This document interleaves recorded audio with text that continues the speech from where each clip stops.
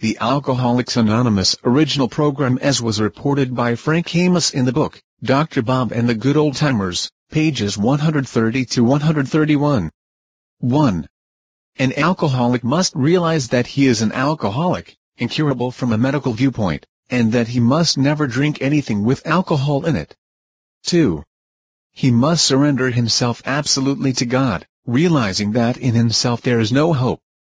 3. Not only must he want to stop drinking permanently, he must remove from his life other sins such as hatred, adultery, and others which frequently accompany alcoholism.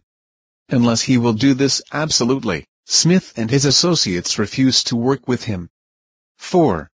He must have devotions every morning a quiet time of prayer and some reading from the Bible and other religious literature. Unless this is faithfully followed, there is grave danger of backsliding. 5. He must be willing to help other alcoholics get straightened out.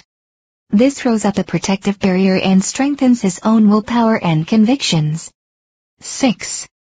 It is important, but not vital, that he meet frequently with other reformed alcoholics and form both a social and religious comradeship. 7. Important, but not vital, that he attend some religious service at least once weekly.